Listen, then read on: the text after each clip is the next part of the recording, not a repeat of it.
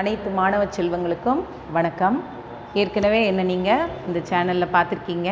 நம்மளுடைய கிரேட்டர் சென்னை கார்ப்பரேஷனுக்காக சூளைமேட்டில் பிடி அசிஸ்டண்ட்டாக இருக்கக்கூடிய நளினி என்கின்ற ஆசிரியை நான். இந்த முறை உங்களோடு நான் குடிமையினுடைய முதல் பாடம் ஏற்கனவே பார்க்கப்பட்டு விட்டது. இரண்டாவது பாடமான சிவிக்ஸ்லேருந்து யூனிட் டூ சென்ட்ரல் கவர்மெண்ட் அதாவது மத்திய அரசு. உங்கள் பாடப்புத்தகத்தில் நடுவண் அரசு என்று போடப்பட்டிருக்கும் தமிழ் மீடியத்தில் அந்த பாடப்பகுதியை தான் இப்போ நம்ம பார்க்க போகிறோம் first learning objectives learning objective means கற்றலின் நோக்கங்கள். இந்த பாடத்தின் மூலமாக நாம் எதெல்லாம் கற்றுக்க போகிறோம் அப்படிங்கிறது. சிவிக்ஸுங்கிற பாடமே என்னென்னா நம்ம நாட்டினுடைய குடிகளை பற்றியும் குடியுரிமைகளை பற்றியும் அரசாங்கங்களின் வகைகளை பற்றியும் இப்படியெல்லாம் நாம் தெரிஞ்சுக்க வேண்டிய விஷயங்கள் அனைத்தும் அடங்கியது தான் அந்த சிவிக்ஸுங்கிற பாடம். அந்த சிவிக்ஸுங்கிற பாடம் வந்து ஒவ்வொரு இந்திய குடிமகனும் தன்னுடைய நாட்டினுடைய இந்த இப்பேற்பட்ட விஷயங்களை எல்லாம் தெரிந்து வைத்திருக்க வேண்டியது மிக முக்கியம். அதில் இப்போ நாம் பார்க்க போகிற இந்த மத்திய அரசு சென்ட்ரல் கவர்மெண்ட் அப்படிங்கிற பாடம் கொஞ்சம் ரொம்ப அருமையான பாடம். நம்ம அவ்வளோ பேரும் தெரிஞ்சுக்க வேண்டிய பாடம். இது ரொம்ப இம்பார்ட்டன்ட். அதனால் நல்லா கவனிச்சுக்க. ஃபர்ஸ்ட் ஆஃப் ஆல் லேர்னிங் அப்ஜெக்டிவில் ஒன்று to know the powers of the president and vice president you know very well president இந்தியாவின் முதல் குடிமகன் என்று அழைக்கப்படுகின்ற நம் நாட்டினுடைய குடியரசுத் தலைவரையும் மற்றும் துணை குடியரசுத் தலைவரையும் பற்றி படிக்க போகிறோம் இந்த பாடத்தில். அடுத்தது to know about the prime minister and councils of minister அதாவது பிரைம் மினிஸ்டர் நம் நாட்டினுடைய பிரதம மந்திரியும் அவரை சார்ந்த அமைச்சர்களின் குழுக்களை பற்றியும் கவுன்சில் ஆஃப் மினிஸ்டர்ஸ் அவங்கள பற்றியும் தெரிந்து கொள்ள போகின்றோம். To understand the Lok Sabha and Rajya Sabha பார்லிமெண்ட்னு எடுத்துக்கிட்டால் there are two Sabas one is Lok Sabha and another one is Rajya Sabha மக்களவை மாநிலங்களவை என்று அழைக்கப்படுது அதன் மற்றொரு பெயர் லோக்சபா அண்ட் ராஜ்யசபா என்று கூறப்படுகிறது. அந்த இரு அவைகளை பற்றியும் நாம் தெரிந்து கொள்ளப் போகின்றோம். அடுத்தபடியாக to know about supreme court இதெல்லாம் இந்த பாடத்தினுடைய மொத்த லேர்னிங் அப்ஜெக்டிவ்ஸாக இருக்குது இப்போ இதில் ஒன்று ஒன்றா நாம் இப்போ பார்க்க போகிறோம் மத்திய அரசு.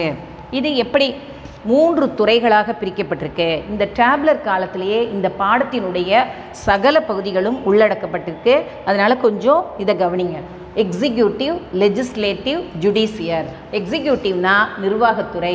லெஜிஸ்லேட்டர்னா சட்டமன்றம் ஜுடிஷரி மீன்ஸ் நீதித்துறை. அப்போ ஒரு நாட்டினுடைய தூண்களாக விளங்கக்கூடியவை இந்த மூன்று துறைகளும் தான். இந்த மூன்று துறைகளை பேஸ் பண்ணி தான் ஒரு அரசாங்கமே நடத்தப்படுகிறது. அப்போ முதல்ல நாம் நிர்வாகத்துறையை ஃபஸ்ட்டு பார்க்க போகிறோம் நிர்வாகத்துறையில் the first man of India என்று அழைக்கப்படுகிறவர் யார்? பிரசிடென்ட் குடியரசுத் தலைவர். அப்போ பிரசிடென்ட் ஆஃப் இந்தியாவை பற்றி தான் முதல்ல படிச்சுக்க போகிறோம் அதற்கு இடையில் ஒரே ஒரு சின்ன விஷயம் சுதந்திர இந்தியாவின் முதல் குடியரசுத் தலைவர்னா டாக்டர் ராஜேந்திர பிரசாத். அதே போல் நம்மள்கிட்ட இருக்கிற இப்போ ப்ரெசண்ட்டில் இருக்கிற குடியரசுத் தலைவர் பேர் ராம்நாத் கோவிந்த். ராம்நாத் கோவிந்த். இது உங்கள் எல்லாருக்கும் நல்லா தெரியும். இதுக்கு இது நல்லா நம்ம எல்லாரும் தெரிஞ்சுக்க வேண்டிய ப்ரெசண்ட் விஷயங்கள். அடுத்தது வைஸ் பிரசிடென்ட் வைஸ் பிரசிடென்ட்னா யார்? துணை குடியரசுத் தலைவர்.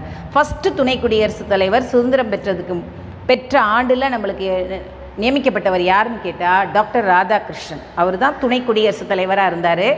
அவருடைய பிறந்த நாளை தான் நம்ம என்னவை கொண்டாடுறோம்? ஆசிரியர் தினமாக கொண்டாடுறோம். செப்டம்பர் அஞ்சு. இப்போ இருக்கிற பிர- வைஸ் பிரசிடென்ட் யாருன்னா திரு வெங்கையா நாயுடு அவர்கள். இவருக்கு அடுத்தது பிரைம் மினிஸ்டர் பிரைம் மினிஸ்டர்னா பிரதமர் பிரதம மந்திரி. அடுத்தது கவுன்சில் ஆஃப் மினிஸ்டர் இதான் எக்ஸிக்யூட்டிவில் வராங்க. நிர்வாகத்துறையில் வர முக்கியமானவர்கள். பிரைம் மினிஸ்டர்னா யார்? பிரதம மந்திரி. சுதந்திர இந்தியாவின் முதல் பிரதம மந்திரி யார்? ஜவஹர்லால் நேரு. பிரசன்ட்டில் இருக்கிறவர் திரு நரேந்திர மோடி அவர்கள். அடுத்தது கவுன்சில் ஆஃப் மினிஸ்டர்ஸ்னு எடுத்துட்டோன்னா மா அமைச்சரவை குழுன்னு அர்த்தம். கவுன்சில்னா குழு அமைச்சர்களின் குழு என்று அர்த்தம். இது எக்ஸிக்யூட்டிவில் வந்துடுது. அடுத்தபடியாக லெஜிஸ்லேட்டர் லெஜிஸ்லேட்டர் என்பது சட்டமன்றம். மன்றங்களில் தான் எல்லா விஷயங்களுமே நிறைவேற்றப்படுகிறது. அதில் அந்த மன்றத்துக்கு சென்ட்ரல் கவர்மெண்ட்டுக்கு என்ன பேருனா பார்லிமெண்ட்டுன்னு பேர். பாராளுமன்றம். என்னன்னு பேர்? பார்லிமெண்ட் தமிழில் பாராளுமன்றம். அது ரெண்டு சபைகளாக பிரிக்கப்பட்டிருக்கு. ஒன்று ராஜ்யசபா மற்றொன்று லோக்சபா. ராஜ்யசபா என்பது மாநிலங்களவை. நல்லா காதில் வாங்கிக்கோங்க. தமிழ் மீடியம் ஸ்டூடெண்ட்ஸ்க்காகவும் சொல்கிறேன் ராஜ்யசபா என்பது மாநிலங்களவை. லோக்சபா என்பது மக்களவை. இந்த ராஜ்யசபா அப்படிங்கிற அவையில் இரநூத்தி முப்பத்தெட்டு மொத்தம் இரநூத்தம்பது உறுப்பினர்கள் இருப்பாங்க. நல்ல கவனமாக கேட்டுங்கடாக்கண்ணா two fifty members in Rajya Sabha. That is மாநிலங்களவைன்னு தமிழில் சொல்கிறோம் இந்த இரநூத்தி முப்பத்தெட்டு பேரும் ஒவ்வொரு ஸ்டேட் அசம்பிளிலேருந்து அதாவது இப்போ நம்மளுக்கு மொத்தம் ஸ்டேட் எத்தனை?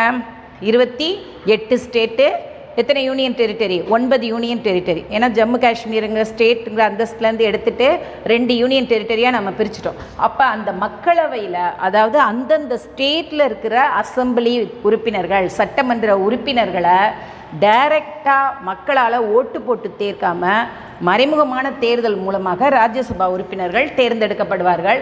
அதில் இரநூத்தி முப்பத்தெட்டு பேரை அந்தந்த மாநிலங்கள்லேருந்து தேர்ந்தெடுத்து அனுப்புவாங்க. மீதமுள்ள பன்னெண்டு பேரை நியமிக்கிறவர் யாருன்னா நம்முடைய பிரசிடென்ட் குடியரசுத் தலைவர். அவர் எப்படி அவங்கள தேர்ந்தெடுப்பார் அப்படின்னு பார்த்தோன்னா ஒவ்வொரு துறையிலையும் சிறப்பு பெற்றவர்கள். அறிவியலில் சிறப்பு பெற்றவராக இருக்கலாம் மருத்துவத்துறையிலாக இருக்கலாம் விளையாட்டுத்துறையிலாக இருக்கலாம் இல்லை சிறந்த சமூக சேவகராக இருக்கலாம். இப்போ உதாரணத்துக்கு நான் சொன்னேன்னா சச்சின் டெண்டுல்கர் கூட ஒரு பா நம்மளோட ராஜ்யசபா எம்பியாக இப்போ இருக்கார். அது மாதிரி பன்னெண்டு பேரை தேர்ந்தெடுக்கிற அதிகாரம் யாருக்கு இருக்குது president. So totally that is two fifty அப்போ ராஜ்யசபாவில் மொத்தம் இரநூத்தம்பது உறுப்பினர்கள். அடுத்தது பார்த்துக்க லோக்சபா. இதுதான் முழுக்க முழுக்க மக்களவை. மக்கள் அப்படிங்கிற வார்த்தை. மக்களுக்கு கொடுக்கப்பட்டிருக்க அதிகாரம் என்ன? இவ்வளோ உரிமை என்ன? வாக்குரிமை. வாக்கு மூலமாக தேர்ந்தெடுக்கப்பட்ட உறுப்பினர்கள் இருக்கிற இடம்தான் லோக்சபா. தமிழில் மக்களவை என்று அழைக்கின்றோம்.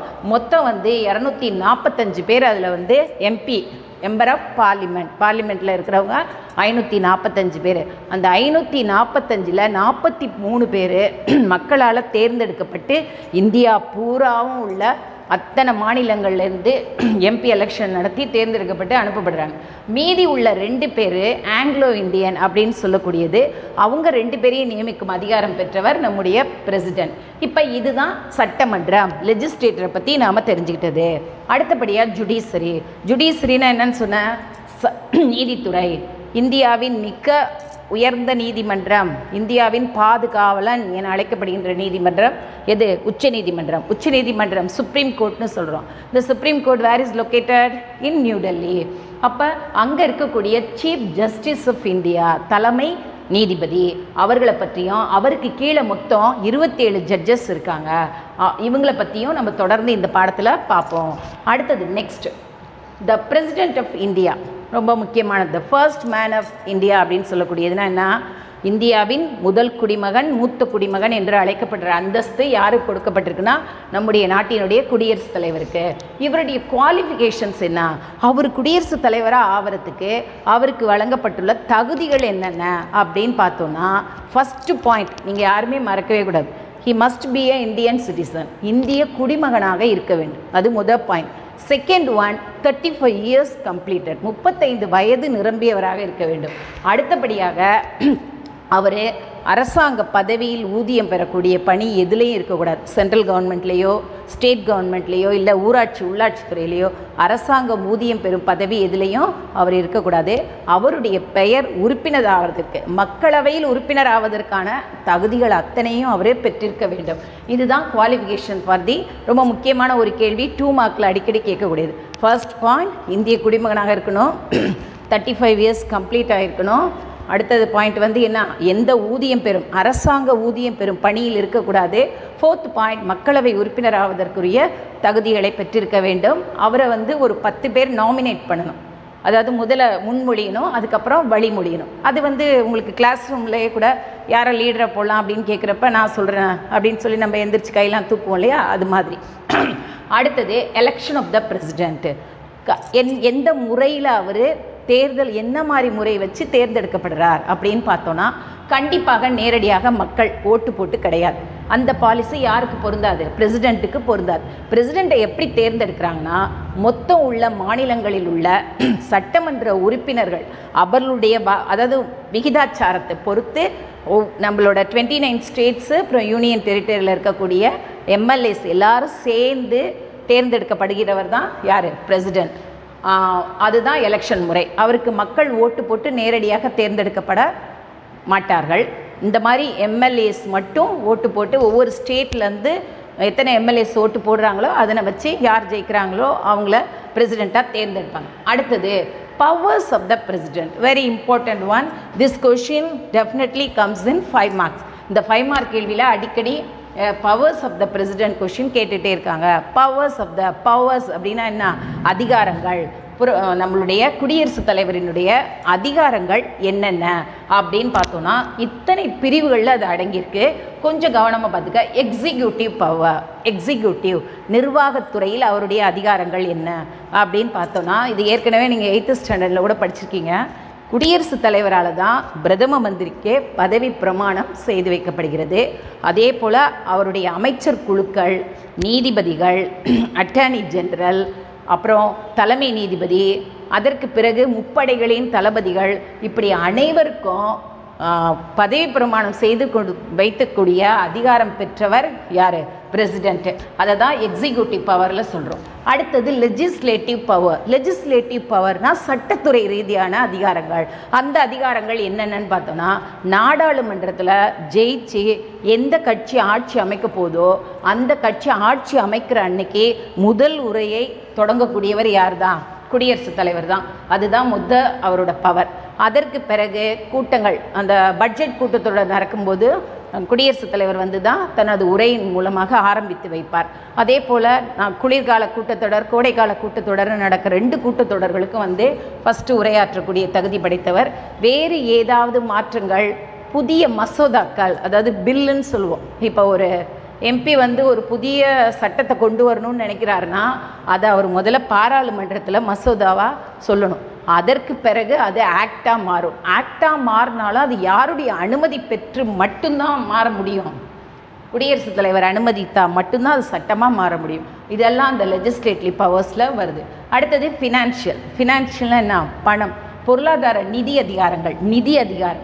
ஃபினான்ஷியல் பவர்ஸ்னால் அவசர காலத்துக்கு ஃபண்டுன்னு ஒன்று குடியரசுத் தலைவரின் பெயரில் இருக்குது. அந்த ஃபண்டை ரிலீஸ் பண்ணணும்னா அது குடியரசுத் தலைவரால் மட்டும்தான் முடியும். ஒரு மாநிலத்தில் கூட அந்த அவசர கால நெ- நெருக்கடி ஏற்படலாம். இப்போ புயல் வெள்ளம் பூகம்பம் இந்த மாதிரி. அது இல்லாமல் இப்போ இந்தியா பூராவும் இந்த கொரோனா பாதிப்பில் நம்ம பாதிக்கப்பட்டிருக்கோம். அப்போ செலவு பணம் வேணுங்கிறப்ப அவசர கால நிதி என்று குடியரசுத் தலைவருடைய பெயரில் இருக்கும். அந்த நிதியை வெளியீடு செய்வதற்குள்ள அதிகாரமும் குடியரசுத் தலைவருக்கு தான் இருக்குது இதை தான் ஃபினான்ஷியல் பவர்ஸ்ன்னு சொல்கிறோம் ஜுடிஷியல் பவர்ஸ் நீதித்துறை அதிகாரங்கள். நீதித்துறை அதிகாரங்கள் உங்களுக்கு கொஞ்சம் கூட தெரிஞ்சிருக்கும்னு நினைக்கிறேன். அதாவது ஒரு கைதி அவன் வந்து மரண த- மரண தண்டனையோ ஆயுள் தண்டனையோ பெற்றிருந்தா அவன் கருணை மனு குடியரசுத் தலைவருக்கு எழுதி அனுப்பிட்டா அந்த தண்டனையை குறைக்கவோ இல்லை முழுவதுமாக நீக்கவோ இல்லை வேறு எதுவும் மாற்றங்கள் செய்யக்கூடிய அதிகாரம் படைத்த ஒரே ஆள் யார் தான் நம்முடைய பிரசிடென்ட் தான். இதுதான் ஜுடிஷியல் பவர்ஸில் வருது நீதித்துறை அதிகாரங்கள்.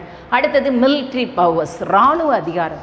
இப்போ இக்கட்டான ஒரு சூழ்நிலை இருக்குது இப்போ அடுத்த நாடுகள் நம்ம மேலே தாக்கக்கூடிய நிலைமையில் இருக்காங்கன்னா அந்த நேரத்தில் எந்த ஒரு முடிவையும் எடுத்து இதை செயல்படுத்துங்க அப்படின்னு சொல்கிற அந்த அதிகாரத்துக்கு பேர் தான் இராணுவ அதிகாரம் மிலிட்ரி பவர்ஸ்ன்னு சொல்கிறோம் ஆக முப்படைகளை தளபதிகளையும் நியமிக்கும் அதிகாரம் பெற்றவர்னு நம்ம ஏற்கனவே முதல் இதில் பார்த்தோம். எக்ஸிக்யூட்டிவ் பவர்ஸ் அதாவது இராணுவம் நேவி அப்புறம் ஏர்ஃபோர்ஸ் மூணுலேயும் வரக்கூடிய அந்த தலைவர்களை எல்லாரையும் நியமிக்கிற அதிகாரம் பவர்ஸ் உள்ளவர் நம்ம குடியரசுத் தலைவர் தான். அதனால் திடீர்னு எடுக்கப்படக்கூடிய எந்த முடிவுகளும் அவருடைய ஆலோசனை மற்றும் அவருடைய சம்மதத்தின் பேரிலே தான் மில்ட்ரி ஆக்ஷன் எடுக்க முடியும். அடுத்தது diplomatic powers diplomatic powers means ராஜதந்திர அதிகாரங்கள். ராஜதந்திர அதிகாரங்கள். அந்த காலத்தில் நம்ம ராஜா அப்படிங்கிற வார்த்தை கேட்ட உடனே ஒரு எதிரி நாட்டு மன்னன் அவங்களோட விஷயங்களை பற்றி தெரிஞ்சுக்கிறது அப்படிலாம் நம்ம சாணக்கியரை பற்றி படிச்சிருக்கோம். ராஜதந்திரம் அப்படின்னு அவரை பற்றி நம்ம சொல்கிறோம் அது மாதிரி டிப்ளமேட்டிக் பவர்ஸ் இந்த இடத்துல எப்படி குடியரசுத் தலைவர் கொடுக்கப்பட்டிருக்குன்னா வெளிநாடுகளுக்கு அம்பாசிடர்ஸ் அம்பாசிடர் தான் தூதரகம்னு அர்த்தம். அங்கே நியமிக்கக்கூடிய அங்கே போய் இப்போ நம்ம ஒவ்வொரு நாட்டு தூதரகங்களும் அந்தந்த நாட்டில் இருக்கும். இப்போ இந்தியாவில் பார்த்தீங்கன்னா நீங்களே பார்க்கலாம் அமெரிக்கன் எம்பசி இலங்கை எம்பசி அப்படி நிறைய இடத்துல நீங்கள் பார்த்துருப்பீங்க அப்போ அந்த எம்பசியில் நிர்வகி ஆ- நிர்வகிக்கிற அம்பாசிடர் தூதர்கள்னு சொல்லுவோம் அப்படிப்பட்டவர்களை அப்பாயிண்ட் பண்ணுற அதிகாரமும் குடியரசுத் தலைவருக்கு தான் இருக்குது அதோடு கூட அவர்களோடு கலந்துரையாடுறது இந்த வேறு வெளிநாட்டு விஷயங்களை பற்றி கேட்குறது இல்லை வெளிநாட்டுகளுக்கு போய் இவர் எதுவும் ஆலோசனை பெற்று கொண்டு வர்றது. இந்த மாதிரி இருக்கிற பவர்ஸ்க்கு பேர் தான் டிப்ளமேட்டிக் பவர்ஸ்னு பேர்.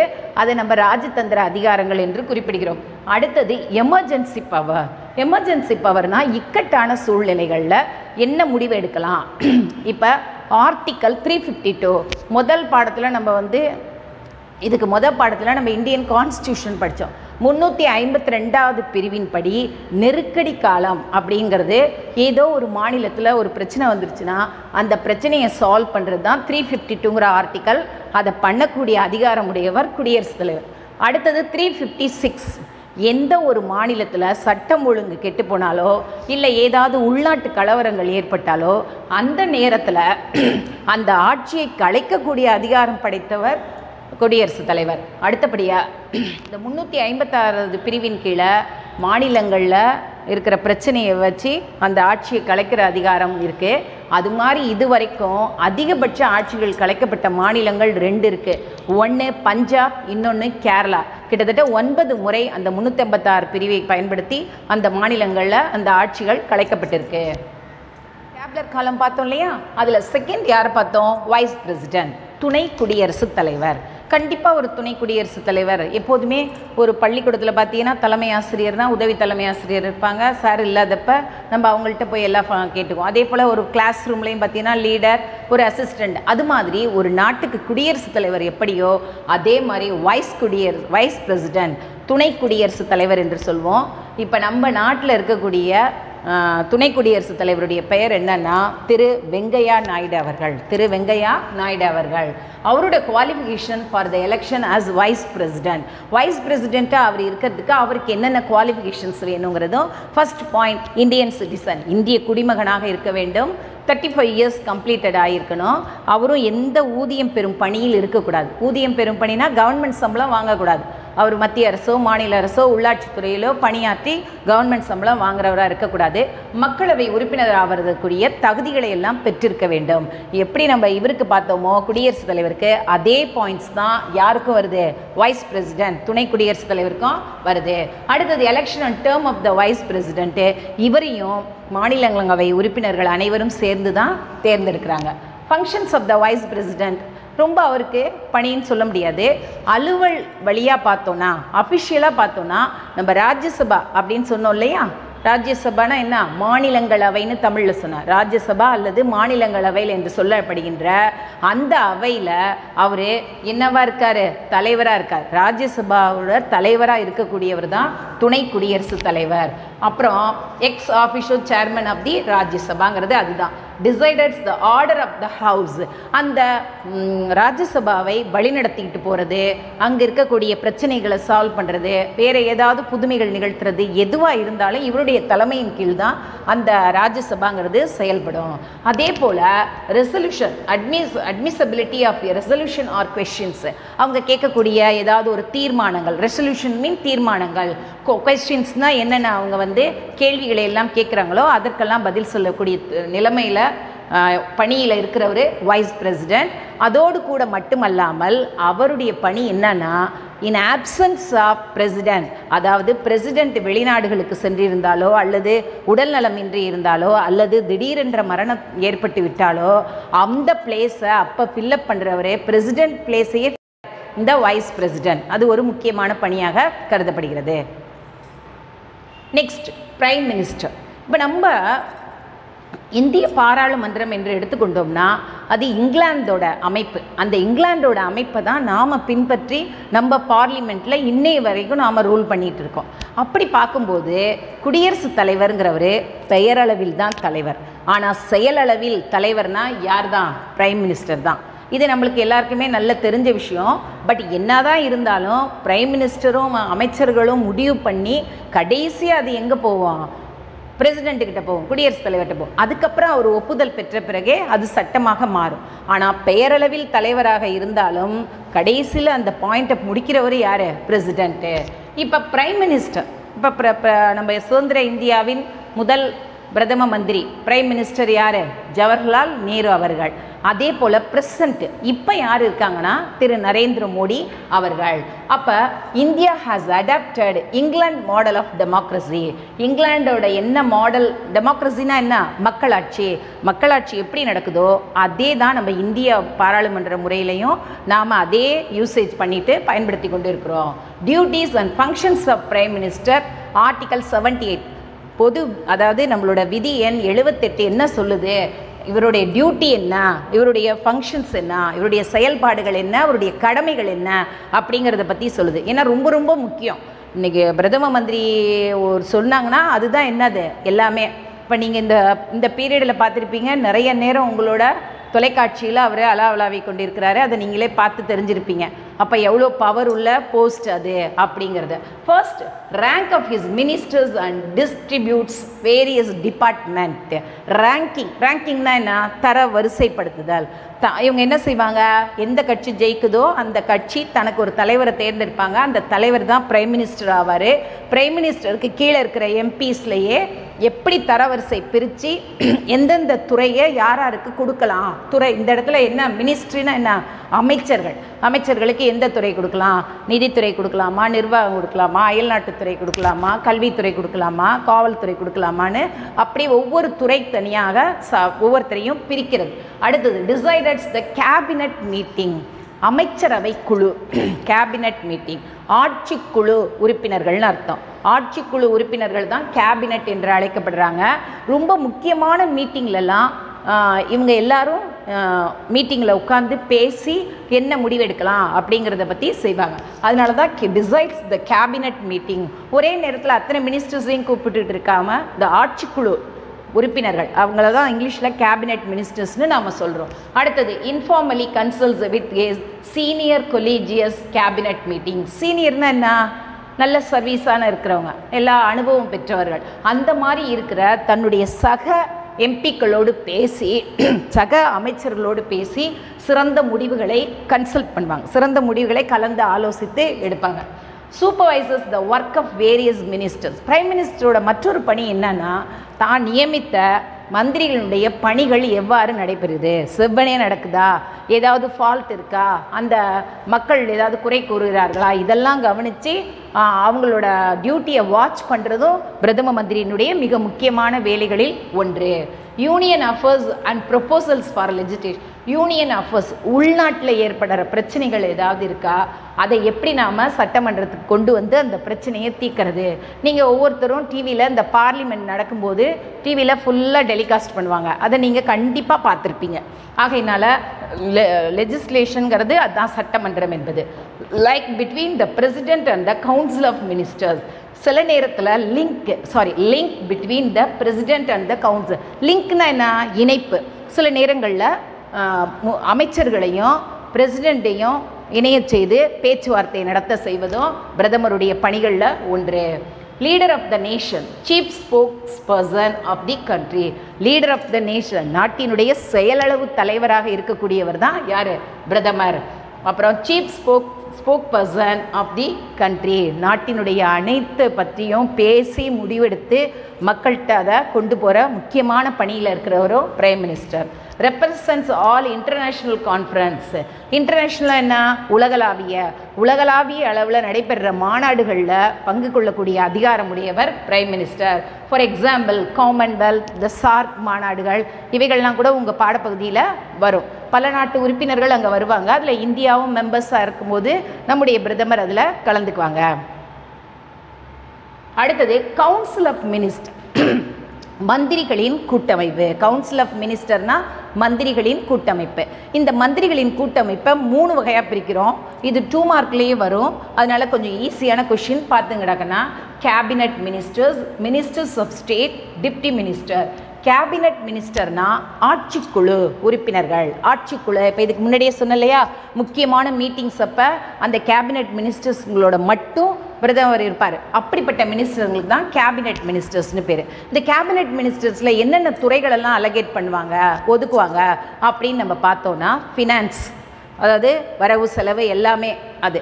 அடுத்தது அயல்நாட்டு உறவு ஃபாரின் அஃபேர்ஸ்னு சொல்லக்கூடியது. அப்புறம் உள்நாட்டு.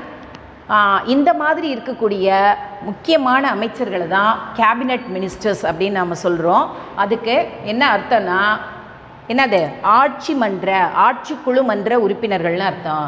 அடுத்தது மினிஸ்டர்ஸ் ஆஃப் ஸ்டேட் ராஜாங்க மந்திரிகள். மினிஸ்டர்ஸ் ஆஃப் ஸ்டேட்னா ராஜாங்க மந்திரிகள். இவர்களுக்கும் தனித்தனி துறைகள் ஒதுக்கப்பட்டிருக்கும். இவங்களும் எந்த ஆலோசனையும் கேபினெட் மினிஸ்டர்ஸ்ட்டு கேட்டுக்கலாம். அடுத்தது மூணாவது deputy ministers deputy ministers mean துணை அமைச்சர்கள்னு பேர். கேபினெட் மினிஸ்டர் உங்களுக்கு அசிஸ்டண்ட்டாக இருக்கக்கூடியவங்க தான் இந்த டிப்டி மினிஸ்டர்ஸ் துணை மந்திரிகள் என்று அழைக்கப்படுறவங்க. ஒரு தடவை பார்த்துக்க. Council of ministers means cabinet minister ministers of state deputy minister ஆட்சி மன்ற அமைச்சர்கள் ராஜாங்க அமைச்சர்கள் துணை அமைச்சர்கள் ஓகேவா இதுக்கு பிறகுடாக்கன்னா இதோட கண்டினியூவேஷன் இந்த பாடத்தில் இருக்குது ஏன்னா நம்ம மூணாவது துறை பற்றி இன்னும் பார்க்க ஆரம்பிக்கல. அதாவது ஜுடிஷரி பார்த்தோம். அந்த துறை இந்த பாடத்தின் தொடர்ச்சி. அடுத்த வகுப்பில் நாம் இதை பார்ப்போம்.